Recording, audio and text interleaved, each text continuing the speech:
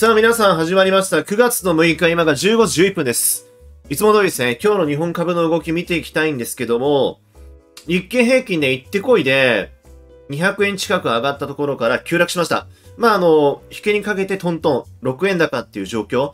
で、皆さんに言っていた中国市場が意識されて、中国マーケットがオープンするにつれて、まあ、株が下がっていくっていう流れだったので、やっぱしね、10時から10時半が鬼門でしたよね。まあ、そこあたりも含めて、全体の今日のマーケットの動き見ていきたいと思います。円安も爆心中で141円突破してますからね。で、僕のプロフィール、ツイッターの方に載せてるので、そこを見とってもらえると嬉しいです。7年間で証券会社に勤めてました。まあ、最終本店でしっかりと実務経験積んできてるので、そこあたり踏まえた上で、これからの僕の話参考にしてもらえると嬉しいです。あとメンバーシップでね、テクニカル分析の勉強会もやってるんでね、もし興味ある人いたらどうぞ。というわけで、まずはいつも通り日経平均の冷やしチャートから見るんですけども、はい。行ってこいですね。100、200円ぐらい上がったところから、バーンって下がって、ね、一旦マイナスのところもあった。最終6円高。で、200日移動平均線、このピンクのラインでなんとか下げ止まってる状況。で、75日移動平均線、この水色のラインとピンクのラインがゴールデンクロス形成近いんですよね。で、S 九州なんで、メジャー S 九州なんで、アメリカと日本のですね、今月に関しては、そこで先物の期日の入れ替えというところで、水木金結構ありやすいんですよ。そこをね、あの、乗り越えられるかどうかっていうところがポイントになってくる。ストキャスティックスだけ売られすぎの水準、今のところ。で、RSI であったりとか、MacD に関してはまだ、目立ったトレンドが発生しているわけではないので、今のところまだね、あの、とっかかりがない状況が続いています。で、日経平均に関してはここに窓が開いてるので、透明するかどうかですよね、これね。このライン2万7000円ぐらいに窓開いてるんですよね。どっかの段階ですると思うんですよ。それが目先なのか、もしくは、あの、将来的なところになるのか。で、今日の日本株の動き、もうみんなね、やっぱしね、あの、中国時間見てた人は、分かったと思うんですけど、急落する前、まあ、天井を取ったのが10時6分なんですよ。で、そこから11時半にかけて下がったと。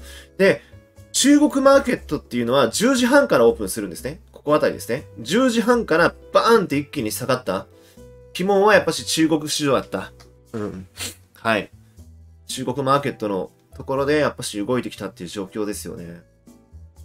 で、場中ですね、米国株先物とかも上がってたんで、より月後ね、買われる動きになってたんだけども、日本株に関しては。これに関しては、あの、今晩米国株の動きを見たいっていうところで、空売りですね、ショートカバーが少し入ったのかなと思います。要は、空売りした人たちの買い戻しですね。空売り比率、昨日の時点で47%超えてましたから、ポジション調整が入った感じがします。それに短期税の買いが乗っかってきてるっていう状況。はい。まあ、それで一旦バーンって寄り付き後上がって、中国市場が開くにつれて、まあ、株式市場値を崩していったっていう、そういった試合になっている。で、米国株市場がやっぱし昨日休みだったので、中国株市場の影響をね、受けやすい状況だったんですね。それが、今日も出てきてしまったと。はい。そういった形ですね。で、ここの傾向に関してはマザーズもそう。で、マザーズは今日0.42%上がってたんですけども、何を言いたいのか、なんでその日経平均からすぐにね、マザーズに移ったのかっていうと、短期税が買いに来てるんですよね。値動きのいいところに資金をシフトしてるんですよ。要は今、アメリカ株、やっぱりその大きく急落している。大型株、なかなか値動き重たい状況が続いてるじゃないですか。じゃあ、短期税どこに向かうのかっていうと、中小型株であったりとか、値動きのね、いいところに資金を向かわせる傾向にある。で、昨日もその傾向があった。昨日も。大型株重いから、マザーズの方に資金がシフトしたんですね。で、今日もその流れは継続。だけれども、ここも値を崩す動きになってるような感じですよね。上げたところから一応下げてますから。はい。そういった形で、今日の上昇に関してはショートカバーと短期税の買い、まあ、この2つが重なって、かつ中国市場がオープンするにつれて、マーケットは崩れていくという、まあ、典型的な、まあ、短期税の売買が主流主流だったのかなっていう気がします。まあ、そこあたりはね、しっかりと覚えとってください。で、今晩で米国株開くんだけれども、ニューヨークダウ先物は今90ドルぐらい上げてます。でも、上げ幅は縮小してるんですよね。これニューヨークダウ先物ですね。上げ幅縮小ですね。すいません、こっちですね。上げ幅縮小。こういった形で下がってきてる。これ3分足です。まあ、今晩ね、また夜20時、2時からライブ配信をするので、ライブでね、あの、みんなと一緒に米国株の寄り付き後の動き見ていこうと思うんですけど、半導体株どうなるかですよね。で、今日の主力銘柄の動きも見てほしいんだけども、半導体株寄り付き後結構上がったんですよ。レーザーテックとかやっぱし3%近くにやっぱし上がったところから、叩き売られてしまってるような形で、上髭伸ばしちゃってるんですよね。上げたところでの売り圧力があったという状況かな、ここも。値動きはもう短期ですよね。嫌がってほしいけど、ここに関しては。まあ、こういった軌道になってくれたらね、一番嬉しいんですけどね。こういった軌道に。一目の壁が、壁が目の前に存在しているので、ここの中に日足が突っ込んできちゃうと、ちょっと問題かな。で、東京エレクトロンもそう。半導体で言うと。ここも一旦上がったんだけども、最終値を消すような動きで、最終0.3%上昇。まあ、小幅に上がってはいるんですよね。で、直近下げが目立っていたファーストリテイリングも、少し上がって0.46%上昇という形。リクルート。ここも直近、昨日ね、大きく値を上げたんですけども、フィボナッチの、まあ、半値戻しラインとか38.2%戻しラインが依然としてまだね、ちょっと重たいような感じかな。個別銘柄見るとね、上がってるところは上がってるんですよ。ソフトバンクは下向き方向。BPS あたりですね。ここのラインで飲み込んでる状況。でもテクニカル見ると、ここで止まったかどうかっていうのを判断するの難しい。5日と50日移動平均線、この青のラインがデッドクロス組んでますから。一目の雲の中にも入ってしまってるし、この緑のエリアの中に。だから、相場の転換点に入ってるような感じなんですよね。あと、今話使っているテクニカルの詳しい解説動画は概要欄の方にリンクを載せてるんで、そこをね、あの、見とってください。無料で公開している分になりますんで、よろしくお願いします。うん。半導体、まあ、テック関連、フェローテックはね、バンドオーク、日柄調整入ってるんですよね。これ、あとパラボリック、マックディア、下落トレンドを形成すると、ポリバンの中央線25日移動平均線ラインまでの修正が入りやすいっていう状況になって。一応、あの、主力どころを見るとそんな感じですよね。トヨタは0.56%上昇。だけどまだこれ完璧にバンドオク終了っていう形ではない。ダイキン工業も、まあ、デッドクロス組んで下向き方向にちょっとトレンドが崩れてきている。高騰？村田は、村田も弱いですよね。ストキャスティクス売られすぎの水準なんですよ。バンドークなんで日柄調整がもうちょっと続いてきてくれたらあれなんだけども、パラボリックがまだ落ちきってないんですよね。このドットチャートが。ということは、まだその大きな上昇トレンドに乗るのはもうちょい先なのかなっていう気がする。どちらにしても重要イベントが目白押しなので、利上げの問題もしかりですよね。CPI の発表も、まあ、あの、今後控えてるというところ。欧州の政策金利0.75%という極端な利上げになるかもしれない。じゃあその時に欧州のマーケットにどういった影響が及んでくるのか。いろいろと確認しなくちゃいけないことがあるので、ポジションね、なかなか組みにくいんですよね。やるとしても打診なんですよ。やるとしても打診。で、9月だから前から言ってる通り、後輩通り回り銘柄が月末に向けて上がりやすいと思うんで、そういったところをね、市場平均以上のところを狙っていきたいってところですよね。配当利回りも。今の日経平均の日本株の平均配当利回りは、ちなみにですね、2.5%ですね。だから2 3%以上のところだったら、やっぱし平均を上回ってるから、投資妙利ある、妙味あるっていうふうに思うんですよ。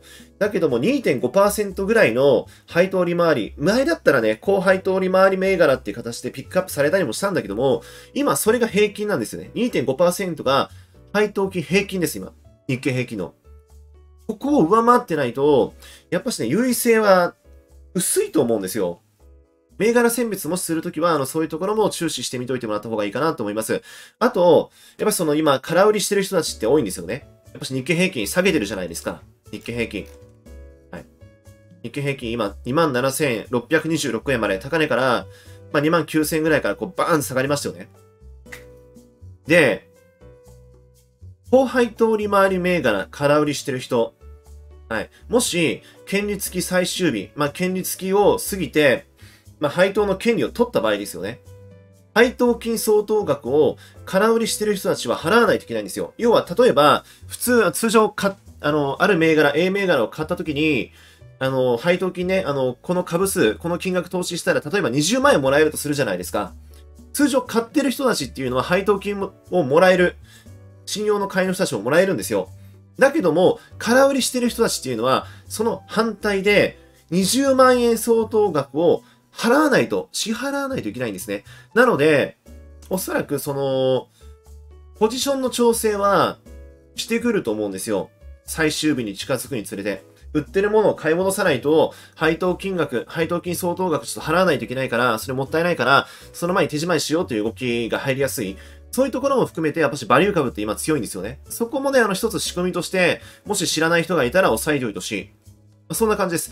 じゃあ次に見ていくのが、ドル円。今141円ですね。爆心中です。円安。まだ止まる動きしてない。で、やっぱしその RSI が加熱気味のラインまで入ってきましたね。ドル円ね。入ってきた。ここは、いつもの動画の中でも言ってて、ここも抜けちゃってるんですよね。バンドオフ中なので、まだ下げてくような動き方じゃないですよね、ここは。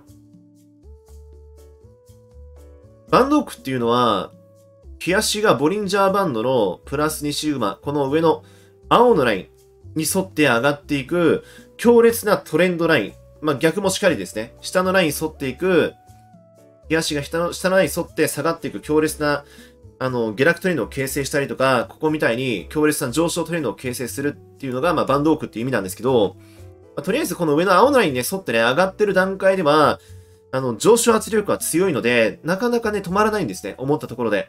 で、このバンドーク終了のサインっていうのは、日柄調整がまず第一段階に入ります。要はこの上の青のラインから日足が離れる。日柄調整とかを伴ってよくあるパターンで言うと。で、その後にパラボリック、このドットチャートと日足が間違って、ドットが日足の上の方に点灯して下落トレンドを形成したり、あとは MacD が下落トレンドを形成すると、ボリバンの中央線、この赤のラインとか、25日移動平均線、この黄色のラインまでの軌道修正が起こりやすくなるんだけれども、その前段階、第一工程が入ってないんですよ。上の青のラインから日足が離れるような動き方してないんですね。5日移動平均線を切り上がってるんで、なので、まだね、ちょっとわかんないですよね。ただ RSI は加熱気味のラインに来てるから、どっかで修正は今から入りやすいと思うんですよ。RSI が加熱気味のラインに入った段階で、これからさらに上がるかもしれないという期待で、要は買いでエントリーするっていうのは、ちょっとリスク高いんですよね。だから新規にここから追って買おうと思ってる人は、ちょっとね、ストップしてもらった方がいいと思います。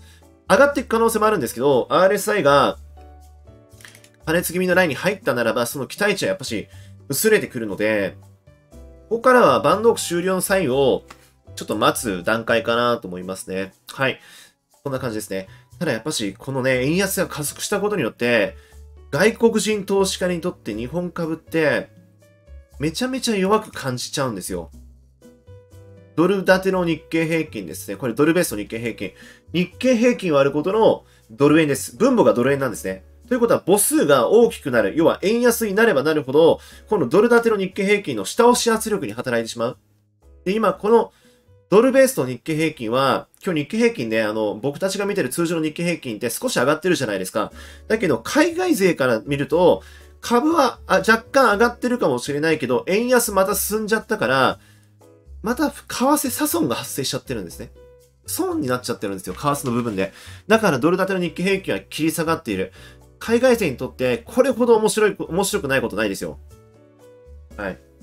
株は上がってるかもしれない。で、僕たち国内勢は、まあ、儲かってるかもしれないけど、海外勢からすると、為替が下がっちゃってるから、損失になってるんですよ、損失に。だから、直近の投資主体別売買動向を見ても、海外勢は現金では買ってないんですよね。先物主導で買ってる。で、2.8兆円をね、やっぱその急落する前に買ってて、海外投資家日本株を、先物をですね、大量に買ってるんですよ。で、現物、現金部分ではたった2000億円ぐらいしか買ってない。短期的なその需給を狙ったトレードですよね。これあの、今回のフジトレポート昨日発表されてる分、あの出てる分に関しても載ってることであって、前からもう先週の段階からもみんなにね、話してたことですよね。うん。あの、フジトレポート見て、あ、僕が言ってることちょっと書かれてるなって思った人って結構いると思うんですよ。そういった形でやっぱし今回この日経平均の上昇をメイキングしてるのは、海外勢の先物買い。プラスアルファで、需給を狙った証券事項の買いなんですね。証券会社って、信用の期日ですね。通過後に需給の改善を狙った買いを入れる傾向にあるんですけど、それで日経平均ぶち上げて2万9000までいったんですよ。上がってる段階で海外勢は現物買ってないんですね、現金で。為替が下がっちゃってるから。要はその円安にバチコーンで進んじゃってるからね。そこでのやっぱその、需給を狙ったトレードだったらならば、そこでのやっぱ修正は入りやすいっていうところ。はい。だから、大きくそのスピード調整が日本株マーケットも米国株が崩れた関係で入ってしまったよねって、まあそういった状況ですよね。米国株にね、やっぱし今の状況を委ねられてるところが強いので、慎重に今晩の値動きを追っていきたいですよね。まあ、とりあえず、海外勢はやっぱしこういったところを見てるから、あんまり日本株ではおもろないねって思ってるってところだけを、とりあえず今は押さえとってください。じゃあ今日、トピックスはちなみにどうだったのか？若干下落ですね、トピックス。200日移動平均線ラインで揉み込んでる状況？窓埋めはまだ終わってないですね。ここまで来たらもうこの窓を埋めてからこうバーンって跳ね上がるパターンをね、ちょっと想定したいんですけどね。5日移動平均線と50日移動平均線、この水色のラインがデッドクロス形成間近なんですよ。ストキャだけを売られすぎは。RSI 切り下がってるし、MacD はまだ下落トレンド形成してる。とっかかりがまだ今のところない状況ですよね。日経平均とトピックスの優位性。これ NT バイアスですね。上昇すると日経平均有利、下落するとトピックス有利という風に見るチャートなんだけども、ここは若干切り上げてきてるんですよ。長期のラインが200日とゴールデンクロスも組んできている。時は売られすぎから、こういった状況でしょう。えー、っと、こういった動きをしてるならば、今日上がってるんですよね。日経平均構成銘柄の方が、優位性がちょっと高まってきてるんですよ。日経平均構成銘柄の方が。今まではトピックスへの寄与度の高い銘柄、このチャート下がってるんで、トピックスへの寄与度の高い銘柄の方が日経平均への寄与度の高い銘柄よりも優位性は増してたんだけれども、上がってきちゃってる。でこのパターンならば、ボリバの調整25日まで上がって、また下がって一目のここにぶつかって下にドボンっていうパターンになる可能性があるんで、そこのパターンちょっと想定かな。キャスティックス売られすぎですもん。明日の寄り付き後もこの NT バイリス見とってください。もし上がっていくようだったら、日経平均への強度の高い銘柄の方が相対的なパフォーマンスが少し高まるかもしれない。明日の動き次第かな？明日、明後日。日経平均、だからその日経平均へのベータ値の高い銘柄をちょっとケアしつつ、明日以降はちょっと皆さん、銘柄を監視して、チャンスがあるんだったら、ちょっとね、あの、ついてみるとか、ありかもしれないですね。で、マザーズ。さっきも言った通り0.4%上昇。まあ、個別物色ですよね。短期税が値動きの軽い中小型株を物色する動きが、ここでも出ています。で、ここのラインにタッチして下がるパターン、要はあるんですよ。ここのラインを抜けてきたら、わざわざもう一回転ね、聞、聞いて200日ラインを目指すような動きになるかもしれないけれども、今のところ、やっぱしここの RSI のトレンドラインを抜けきれてないというところで、まだ決定的なサインは出てないです、ここも。決定的なサインが出てない。マザーズへの優位性。これ TM バイリスですね。上昇するとトピックスより、下落するとマザーズ優位。で、今トピックスよりもマザーズの方が優位性は高い。NM バイリスももちろんそう。これ日経平均も割ることのマザーズ。上昇すると日経有利、下落するとマザーズ優位。今これ下がってるんで、マザーズの方が優位性が高い。だから、あの、今日時点でのマーケットの優位性の順位は、マザーズが一番良くて、次に日経平均、トピックスっていう感じかな？そういった形で目先のこの数日間は来てるんですよ。数日間が来てるんですよ。米国株がね、休みだったからってとこあるんですけどね、昨日ね。で、あの、今晩から米国株は通常運転されるので、明日ね、もしかすると、この市場の優先度が変わってくるかもしれない。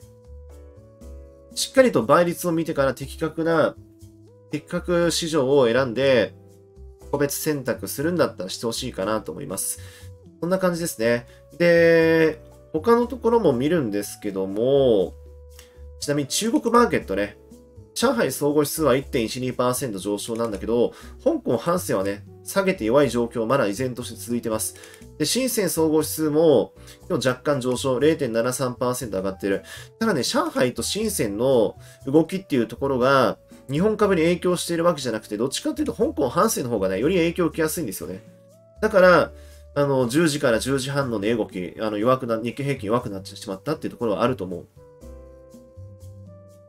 どちらにしても今日、なんていうかな、やっぱし昨日、今日と中国時間10時から10時半ぐらいにマーケットがね、少し変動するような形でブレてるんだったら、明日以降も、明日以降も、中国マーケット、特に香港反戦の動きっていうのは日経平均とセットで見ておく必要ありますよね。なんか怪しい動きしないか。反戦先物の動きをしっかりと10時前ぐらいにどっち方向に向いてるのかっていうのを見ててほしい。それワンポイントアドバイスですね。で、あとは欧州の株式市場は、ユーロストック50は1.53%下落。イギリス FTSE、今日小幅に下落ですね。まあ、2日陽線を引いたんですけど、ちょっと揉み込んでる状況。ドイツダックス、2.22%下落。一旦急騰したんですけど、また下げて、まあ、下髭が一応伸ばしている状況かな。まあ、どちらにしてもその欧州市場も弱い動き方なんですよね、今のところ。えっと、日経平均と S&P の500の優位性はどっちが高いのかっていうと、NS 倍率を見ると上昇している。これ日経平均割ることで S&P500 ですね。上昇すると日経優位で、下落すると S&P500 優位。で、今、上がってるんで、米国株よりも日本株の方がまだ強いよねっていう、そういった形をしてるかな。あの、これも全部やっぱし、円安っていうところ、輸出関連銘柄にとっては、ポジティブに働くし、円安は。で、日銀の金融緩和っていう政策が他のその各国と比べて真逆に動いてるっていうところで、ブースターとして働いてますよね。日本株の優位性っていうところに。で、あの、昨日ね、夜のライブ配信でも言ったんですけど、フストレポートにも書かれてるんですけど、黒田総裁の日銀のね、任期満了がもう来年控えてるわけじゃないですか。で、黒田総裁から新しい人に変わる段階で、もしかするとマーケットが大きくブレる可能性があるっていうところが指摘されてたので、そこは皆さん必ず押さえとってください。春先以降の動きにはちょっと警戒。だからあの、新年度、まだ先なんだけど、新年度になってから、最初もしかすると強い動きになるかもしれないけども、あの、黒田総裁が、あの、任期満了で、まあ、退任する時期に近づくにつれて、少し弱含んでくる可能性は考えられる。先々のね、もう数ヶ月先の動きなんだけども、しっかりとね、そこもスケジュールとしては押さえといてほしいかなというふうには思います。はい。ビットコインちなみにこれ280万。横横の展開続いてますね。もう米国株は開くの待ってます、完璧に。ただ、マック D ゴールデンクロス組んでるのに、反応鈍いんですよ、めちゃめちゃ。で、ボリバーの中央線25日移動平均線下向きなので、上がっても、おそらくその25日あたりで一旦押し戻される可能性があると思うんですよ。この29,200円とか、2万9000じゃない、292万とか、そんぐらいですね。290万ぐらい。ここから10万ぐらい上がると、ちょっとね、持たれてくるかもしれないっていうのを想定しててほしい。まあの、もし、ビットコイン見てる人がいたらね、目先の動きですよ。目先の動きですよ、もちろん。あとはまあ、今晩のビックスの動き方次第かな。あの、これ市場の不安心理を表す恐怖数、ビックス指数と言われるものなんですけども、これが、これのビックス指数の MacD がゴールデンクロスを形成した段階で、株式マーケットは米国株は急落しています。いつものパターンです。今回だけじゃないです。毎度急落するときは必ずこのビックスの MacD ゴールデンクロス形成を伴って急落してる。もうサインなんですよ、一つの。サインなんですよ。で、これ見てる人は、あの、今回の急落も事前に予測する、ある程度予測することができて、ポジションを縮小したりとか、まあ一旦その、全部売却とかしてる人もいるんじゃないかなというふうには思います。持ち越してる分は持ち越してると思うんですけどね。強い銘柄強いんで。だからまあ、ここですよね。今回の鬼門もここだった。じゃあ逆に MacD が、これがデッドクロスね。青のラインがオレンジのラインを上から下に突き抜けるような、要はこういった動きをしてくると、そこから株式マーケット、米国株もう一段高してくる可能性があるから、そこのタイミングをぜひとも皆さん逃さないようにしておいてほしいかなと思います。なので、現状のマーケットの動き見たんですけど、まだ弱いですね。今日の動き見ても、どっちかっていうと、その、短期勢の売買主流だったかなって気がする。それプラス、今日、今晩米国株開くから、とりあえず、あの、ショート入れてた分を一旦買い戻しておこうっていう動き。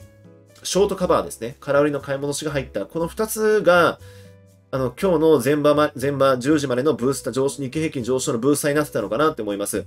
で、中国マーケット、10時半から、日本時間10時半から開くんだけど、その30分前ね、だいたい先物の動き見てから動きを始めますますから、10時からあの10時半にかけて、中国市場の動向を踏まえながら、香港ハンスの動きとかを踏まえながら、日経平均は急落、日本株は急落。で、上昇幅、すべてを消すような形で修正が入って、今晩の米国株にバトンタッチという、まあ、そういった試合になってます。で、今日までは、今日の日本時間までは米国株の影響を受けないので、値幅取りのために中小型株であったりとか、一部グロース株に資金が流入してたかなっていう状況。で、これが今晩米国株が開いて大きな流れがまた発生した段階で、この優先順位が変わるかどうか。この2日間は中古型株が優先あったんだけども、それがまた一点ね、逆転現象が起こるかどうかっていうところはしっかりと見ておく必要がある。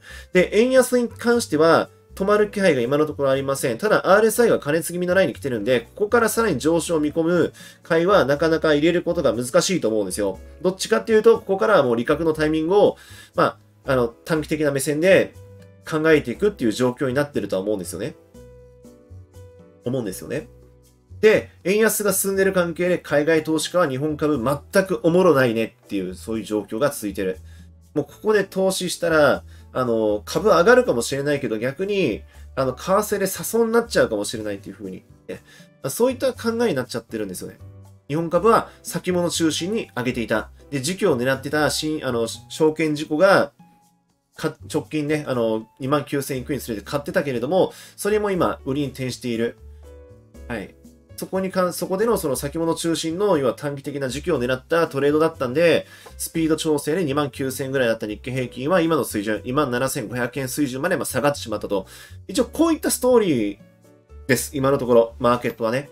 しっかりとそこあたりの流れを把握して、じゃあここからどうしようかっていうのを考えていきましょう。はい。あの、空売りの買い戻しの件とかね、あの、はい後輩通り回り銘柄に関しては、あの、空売りしてる場合は、まあ、買い戻さなければいけないっていう需給的な余裕も発生すると思いますから、まあ、そこあたり、ちょっと考えてやっていきましょうかね。